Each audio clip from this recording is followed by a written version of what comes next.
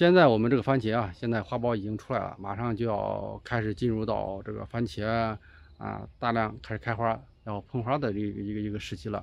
从栽上苗啊，浇完定植水以后，然后到这个番茄开始开花，在这个时期，特别对于无土栽培这一块啊，肥料的配方选择是非常关键的。你包括现在有很多朋友啊，选择那个三个十九的、三个二十的比较多。实际上这种配方啊是很烂的一个配方啊。首先第一个呢，磷太高了啊，需要不了那么多磷啊，最终呢可能就会留在你这个基质里面去啊，造成啊两三个月以后呢，基质盐分过高。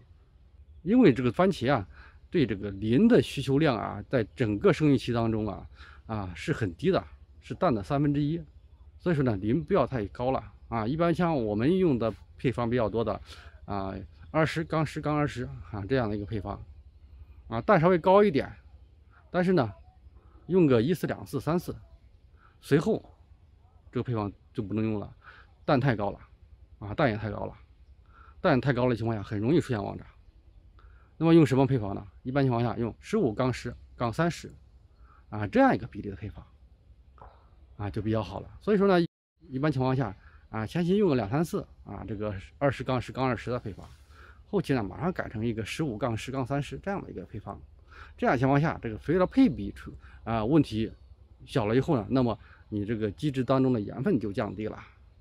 你好比说现在土壤为什么说我们都知道啊，这个土壤越种越差，越种越差了啊，盐碱特别厉害，是什么原因呢？就是因为你前期施肥不科学啊，多年不科学以后造成的最终的盐分积累啊，浇完一次一次大水以后，把盐分往下压压压压压下去了，但是呢，随后在种的时候马上又反上来了。所以说呢，机制栽培这一块呢，我们也不能把我们所有的工作全部放到啊依托依赖在这个洗盐这一块